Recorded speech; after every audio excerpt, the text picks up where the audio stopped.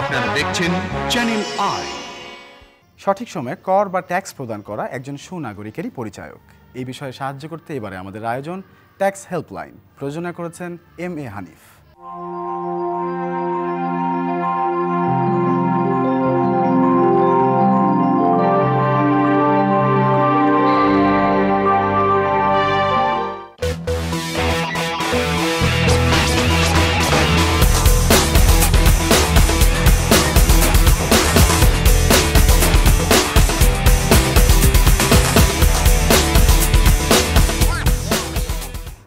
প্রিয় দর্শক, শুভেচ্ছা নিন।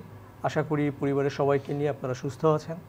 আমাদের চ্যানেল আইয়ের যে নিয়মিত অনুষ্ঠান কর বিষয়ে যে তথ্য দেয়া সেই ট্যাক্স হেল্পলাইন অনুষ্ঠানে আপনাদেরকে স্বাগত জানাচ্ছি। আজ আমাদের সঙ্গে অতিথি হিসেবে চ্যানেল আই স্টুডিওতে আছেন আমার ঠিক ডানে কুমিল্লা ভ্যাট কমিশনারেটের খুব জনপ্রিয় কমিশনার বেলাল চৌধুরী। আমার বায়ে আমি শুরু করছি অতিরিক্ত কমিশনার জনাব আব্দুল হাকিম। কুমিল্লা ভ্যাট কমিশনারেট এবং জনাব আব্দুর রাজ্জাক উনি এই করোনাকালে যে আমরা যে টিকা আহ, সদস্য সরকার যে ব্যবস্থা করেছে তো সেইখানে জনাব আব্দুর রাজ্জাকের যে প্রতিষ্ঠান জেএমআই তারা অনেক বড় একটি সাপোর্ট দিচ্ছে আমাদেরকে। তো আপনাদের তিনজনকেই আমাদের স্টুডিওতে আজ স্বাগত জানাচ্ছি। আমি শুরু করতে চাই কমিশনার বেলাল চৌধুরী আপনাকে দিয়ে। প্রথমে আমি জানতে চাচ্ছি যে আমি পত্রপত্রিকায় দেখেছি আপনার কমিশনারেটের সাফল্য গাথা নিয়ে লোকাল এবং আমাদের জাতীয় দৈনিকে হ্যাঁ অনেক বড় বড় খবর দেখেছি। সবাই কেন আপনার খবরটা দেওয়ার জন্য এত আগ্রহ বোধ করছে? খুব ভালো প্রশ্ন। আমরা কাজ করেছি। যখন কাজ করি তখন কোনটা খবর হবে, কোনটা খবর হবে না সেটা মাথায় রেখে কাজ করি না। চেষ্টা করি নিজের কাজটা পেশাদারিত্বের সাথে দায়িত্ব দায়িত্বশীলতার সাথে করার জন্য। বিশেষ করে শেষ মাসে আমাদের, জুন মাসে আমরা যখন দেখলাম যে আমরা মে মাস পর্যন্ত প্রায় মাসিক লক্ষ্যমাত্রা থেকে তেরো, চোদ্দ পার্সেন্ট পিছিয়ে ছিলাম। ওইখান থেকে আমাদেরকে সামনে এগোতে হবে। চেয়ারম্যান স্যার বলেছেন যে এইবার যেহেতু মুজিব বর্ষ এবং আমাদের নানাবিধ কারণে করোনার কারণে আমরা যেটুকু পিছিয়ে এসেছি, আমাদের দায়িত্ব নিয়ে কর আদায় করতে হবে, ভ্যাট আদায় করতে হবে। তখন আমরা নিজস্ব একটা স্ট্র্যাটেজি আমরা নিলাম সেই মাসে। সেটা হচ্ছে যে আমাদের ষোলোটা টিমকে আমরা একটা লিগ প্রতিযোগিতার মতো করে করলাম। একটা টেবিল করলাম যে যেখানে আমরা দেখালাম যে গত বছরের একটা লক্ষ্যমাত্রা আমরা নির্ধারণ করলাম যে এটার যদি নাইনটি পার্সেন্ট হয় তাহলে সে হবে হচ্ছে হলুদ। আর নাইনটি পার্সেন্টের কম যদি হয় তাহলে সেটা হবে লাল। এবং নাইনটি পার্সেন্টের বেশি বা হান্ড্রেড পার্সেন্ট যখন পার হয়ে যাবে হান্ড্রেড পার্সেন্টের বেশি যখন পার হয়ে যাবে তখন সেটা হবে সবুজ। তো এটা প্রথম দিন যখন আমরা টেবিলটা সাবমিট করলাম আমাদের গ্রুপে প্রায় দুইশো বিশ জনের মতো মেম্বার আছে ওই গ্রুপে তখন দেখা গেল যে কেবলমাত্র সবুজ দুটো সার্কেল বাকি যে চোদ্দোটা সার্কেল তারা ছিল হচ্ছে লাল। আমরা যখন মাস শেষ করি, তখন দেখা গেল যে একটা মাত্র সার্কেল হলুদ ছিল, বাকি সবাই সবুজ হয়ে গেছে। তো প্রথম দিন যখন এই টেবিল দিছে, সেই দিন রাত্রে অফিসারদের নিজেদের বক্তব্য, অনেকে রাতে ঘুমায়নি তারা পিছিয়ে কেন? আচ্ছা তাদেরকে সামনে যেতে হবে, যে কোনো মূল্যে। অনেকে ফোন করছে যে, স্যার, এইভাবে মূল্যায়ন হবে, আমরা তো এটা বুঝতে পারিনি তিন চার দিনের মধ্যে দেখা গেল যে, সাত আটটা সার্কেল গ্রিন হয়ে গেল আমরা মনে করেছি যে, এটা হয়তো একটা মানে তাদের সামনে যখন আমি একটা লেভেল প্লেয়িং ফিল্ড সামনে রাখব এটার কারণে অফিসাররা নিজেদেরকে দেখতে পাবে, একটা মানে নিজের চিত্র দেখতে পাবে। কাজ তারা করেছে। আমি সবসময় যেটা বলি সেটা হচ্ছে যে আসলে কাজ করে টিম। আমি কমিশনার আব্দুল হাকিম অতিরিক্ত কমিশনার, আমরা নেতৃত্ব দিয়েছি, গাইডলাইন দিয়েছি। নেতৃত্ব গাইডলাইন দেওয়ার পরেও অনেক সময় দেখা যাচ্ছে টিম হয়তো ঠিকভাবে কাজ করতে পারে না এবং টিমের কাছ থেকে কাজ উঠিয়ে আনা যায় না। আমি বলব যে কমিশনারের সাফল্য এটাই, সেটা হচ্ছে তা আমরা কাজ উঠিয়ে আনতে পেরেছি। আমি তারপর আমার সহকর্মী যারা আছে মাঠ পর্যায়ে যারা কাজ করেছে কুমিল্লা কমিশনারেটের, একেবারে এআরও থেকে শুরু করে আমাদের অতিরিক্ত কমিশনার পর্যন্ত আমি তাদেরকে কৃতিত্ব দিই তারাই মূলত কাজটা করেছে। তো আমরা অতিরিক্ত কমিশনার আমাদের সঙ্গে আছেন জনাব আব্দুল হাকিম। কমিশনার মহোদয় যেটা বলছেন যে টিম ওয়ার্ক নেতৃত্ব, নির্দেশনা এবং সবশেষে কাজটা আসলে মানে শতভাগ সাফল্যমণ্ডিত করার যে একটা প্রচেষ্টা সেই জায়গাটা আপনারা কীভাবে এইটাকে আসলে সমন্বয় করলেন? কুমিল্লা কমিশনারটা আমরা প্রথমেই যে কাজটা করেছি যে আমাদের যে রিসোর্স এবং যে সমস্ত কর্মকর্তাদের ওখানে পদায়ন করা হয়েছে, সেই সমস্ত কর্মকর্তাদের যে প্রোফাইলিং এবং সেই সমস্ত কর্মকর্তারা যে ট্যালেন্ট সেই ট্যালেন্টগুলো আমরা এক্সপ্লোর করার চেষ্টা করেছি। যখন আমরা আসলে টিম স্পিরিট সৃষ্টি করতে পেরেছি, তাদেরকে আমরা কাজে অকুপাইড এবং এনগেজ করতে পেরেছি, তখন আসলে কিন্তু সাফল্য স্বয়ংক্রিয়ভাবে আমাদেরকে ধরা দিয়েছে। জি। আসলে এভাবেই আমাদের শুরু এবং এভাবেই আপনি যদি চিন্তা করে দেখেন যে আমাদের যে সমস্ত ইন্ডিকেটর দিয়ে কোনো একটা কমিশনারকে মূল্যায়ন করা হয় এবং যে সমস্ত ইন্ডিকেটরের মাধ্যমে আমাদেরকে কমিশনারকে জাজ করা হয় যে হ্যাঁ আমরা প্রকৃতপক্ষে আমাদের যে ডেস্টিনেশন আমাদের যে অভি- অভিষ্ট এবং আমাদের যে গোল সেদিকে আমরা আগাচ্ছি কিনা সেই সমস্ত প্যারামিটারগুলো চিন্তা করলে যে কুমিল্লা কমিশনারেট ভালো করছে। এর অন্যতম একটা বিষয় হলো যে অনলাইনে রিটার্ন সাবমিশন। আপনারা জানেন যে আমরা ট্রিপল হ্যাট্রিক করেছি এবং সর্বশেষ যেটা আমরা তেরোতম বারের জন্য অনলাইন রিটার্ন সাবমিশনের ক্ষেত্রে আমরা প্রথম হয়েছি। আপনারা জানেন যে কাস্টমসের যে অটোমেশন সেটা ইতোপূর্বেই শুরু হয়েছে বেশ আগে থেকে।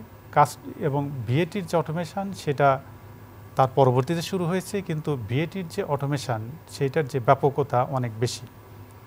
তো বিএটির যে অটোমেশান সেটা যে যথাযথভাবে হচ্ছে তার অন্যতম যে প্যারামিটার এবং ইন্ডিকেটার সেটাই হলো অনলাইনে রিটার্ন সাবমিশন আমরা আমাদের কর্মকর্তাদের সহায়তায় এবং কর্তৃপক্ষের যে সঠিক দিক নির্দেশনার ফলে আমরা অনলাইনে রিটার্ন সাবমিশন সহ অন্যান্য যে বিষয়গুলো, সেইখানে আমরা সাফল্য অর্জন করতে পেরেছি। কাজেই এ কৃতিত্ব সভার, এ কৃতিত্ব সকল কর্মকর্তার এবং সাথে সাথে এই কৃতিত্ব আমাদের যারা যত অংশীজন আছেন, যারা সম্মানিত ব্যবসায়ী আছেন, প্রত্যেককে আমাদেরকে সহায়তা করেছেন এবং আমরা যেটা করতে পেরেছি যে সবাইকে অনবোর্ড করতে পেরেছি, সবাইকে আমরা কাজে বিভোর করতে পেরেছি এবং এভাবেই সাফল্যে এসে এসে আসলে আমাদের কাছে ধরা দিয়েছে। আমাদের সঙ্গে একজন স্টেক হোল্ডার আছে তো আমরা একটু আপনার কাছ থেকে জনাব আব্দুর রাজাক আপনি কুমিল্লার যে কমিশনার জনাব বিলাল চৌধুরী, উনি বলছিলেন যে আপনাদেরকে সঙ্গে নিয়ে এবং ওনার টিমকে সঙ্গে করে এই যে একটা সাফল্য উনি একটা ইতিহাস তৈরি করেছেন হ্যাট্রিক তাও পরপর আপনার এই যে ধারাবাহিকতা আর কি, তো সেই জায়গায় আপনারা তো সবচেয়ে বড় অংশীজন এবং আপনি কুমিল্লার মতো রিমোট একটা জায়গাতে অনেক আগে এই যে জেএমআই গ্রুপের যে কার্যক্রম, আমরা সেটা মানে অবশ্যই জাতি হিসেবে স্বীকার করি। কারণ এই করোনাকালে আমরা যে টিকা নিচ্ছি, টিকার যে সিরিজটা, এটা আপনারাই প্রডিউস করছেন। এটা যদি আমাদের বাইরে থেকে আমদানি করে আনতে হতো, তাহলে একদিক দিয়ে যেরকম এই সময় পাওয়ার একটা অনিশ্চয়তা ছিল, আবার আমাদের বিদেশি মুদ্রারও একটা ব্যাপার ছিল। সেই জায়গায় ডেফিনেটলি আপনি অনেক বড় একটা কাজ করেছেন। আপনি একটি যদি বলেন যে আমরা যে যে কর বান্ধব রাজস্ব বোর্ডের কথা বলি আসলে এটা কতটুকু কর বান্ধব? জি, আপনাকে ধন্যবাদ জানাচ্ছি।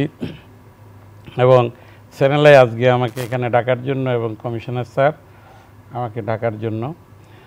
আমি একজন বিজনেসম্যান আমি আসলে দেশের বাইরে ছিলাম, জাপানে ছিলাম। আপনারা জানেন যে জাপানিরা বিশ্ব কীভাবে জয় করেছে।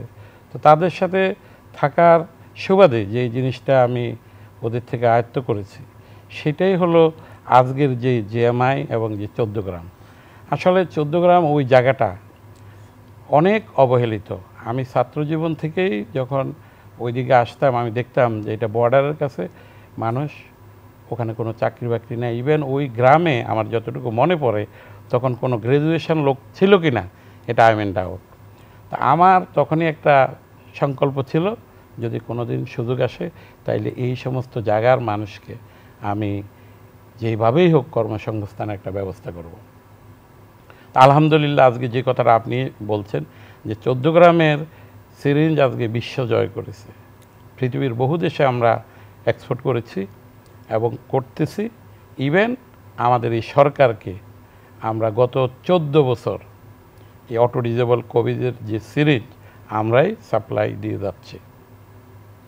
এটা আসলে আপনারা সবাই জেনে খুশি হবেন যে কমিশনার স্যার যে কথাটা বলেছে যে এইটা ওনাদেরও কৃতিত্ব।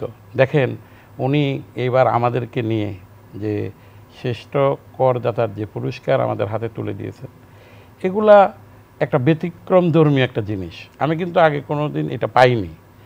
আমাদের লোকজন যখন এটা দেখে, আমরা নিয়ে আসি, যেই গ্রুপে আজকে আমার সাড়ে সাত হাজার লোক, এটা যখন সব গানে চলে যায়, তখন তাদের মনটা গর্বে ভরে যায় যে না রাষ্ট্রের একজন। ব্যক্তির একটা স্বীকৃতি। এটা প্রয়োজন। আমরা পেয়েছি। এবং আমরা আমার গ্রুপ যেহেতু আমি বারবার বলেছি যে আমাদের গ্রুপে বিশাল অঙ্কের জাপানি ইনভেস্টমেন্ট আছে। আপনার জাপানিরা এমন জাতি আপনারা তো বুঝতে পারেন যে ওরা সব কিছুতে ট্রান্সপারেন্সি মানে ভেরি ইম্পর্টেন্ট এবং ওনারা আমি একটু আগে ওনাকে এই কথাটা ওখানে বলছি যে কাস্টমার লোকেরাই হাতে করে দিয়ে দিয়ে সেই নিরানব্বই সালে মাত্র তিনটা প্রোডাক্ট এবং পঞ্চাশ জন লোক দিয়ে আমি শুরু করি।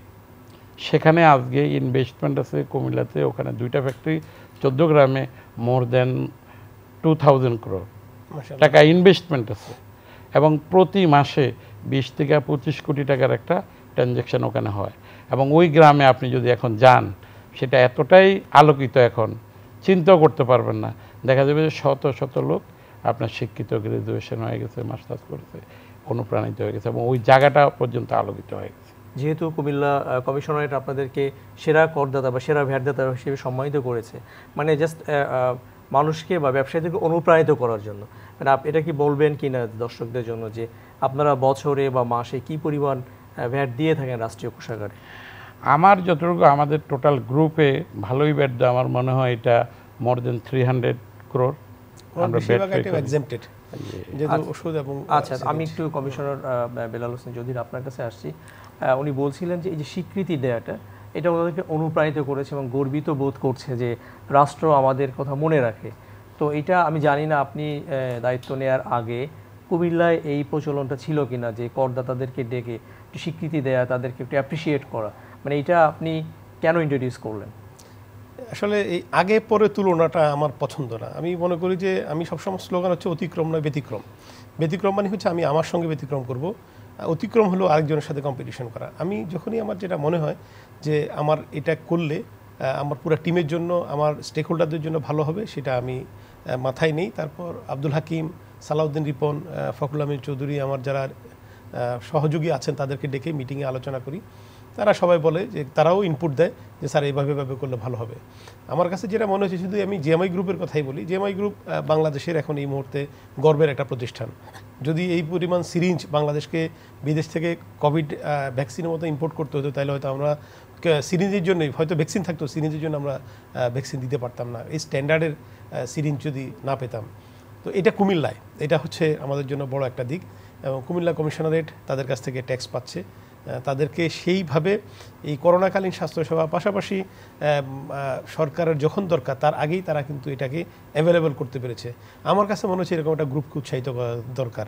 এছাড়াও আব্দুল মনিম গ্রুপ আপনারা জানেন গ্লোব ফার্মাসিউটিক্যালস এবং হচ্ছে আবুল খায়ের গ্রুপ আমরা সবাইকে পুরস্কৃত করেছি। এই জন্য যে যারা আজকে কর দিয়ে দেশে অবদান রাখছেন পরবর্তী প্রজন্ম যেন দেখে তারাও যেন কর প্রদানে উৎসাহী হন এবং এ, উনি বললেন সাড়ে সাত হাজার কর্মচারী কর্মকর্তা যারা, তারা এই অ্যাওয়ার্ড দেখে উজ্জীবিত হয়েছেন। আমি যখন তাকে নির্বাচিত করেছি, আমি তার কর্মকর্তা কর্মচারী উজ্জীবিত হয় হয়তো আমার এটা মাথায় ছিল না। আজকে এটা শুনে আমি খুশি হলাম যে হয়তো এই ভবিষ্যতে আমাদের আরও অনেক কমিশনার যারা আছেন, যারা হয়তো মনে মনে ভাবছেন যে এইভাবে পুরস্কৃত করা দরকার কিন্তু বাস্তবায়ন করেননি, এখন তারা হয়তো দ্রুত বাস্তবায়ন করবেন। আমি মনে করি যে পুরস্কার এবং হচ্ছে স্বীকৃতির যে সংস্কৃতি, এটা সর্বপর্যায়ে এটা কিন্তু আমি মনে করি সংক্রমিত হওয়া দরকার এবং এটাকে ছড়িয়ে দেওয়া দরকার।